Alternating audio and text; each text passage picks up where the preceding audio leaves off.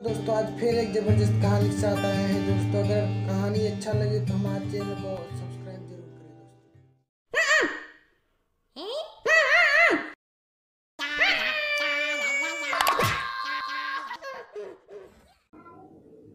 बहुत समय पहले की बात है। हिरण्याक्ष का एक बेटा था, जिसका नाम अंधक था। अंधक ने तपस्या के द्वारा ब्रह्मा जी की कृपा से न मारे जाने का वर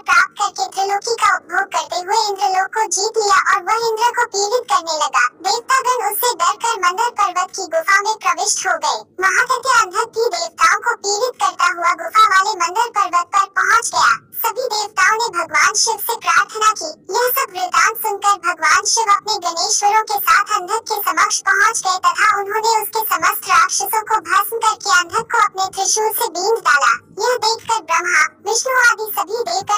ध्वनि करने लगे। त्रिशूल से बिंधे हुए उस अंधक के मन में सात्विक भाव जागृत हो गए। वह सोचने लगा, शिव की कृपा से मुझे यह गति प्राप्त हुई है। अपने पुण्य गौरव के कारण वह अंधक उसी स्थिति में भगवान शिव की स्तुति करने लगा। उसकी स्तुति से प्रसन्न होकर भगवान शंकर दयापूर्वक उसकी ओर देखते हुए बोले, हे अंधक, वर मांगो, तुम क्या चाहते हो?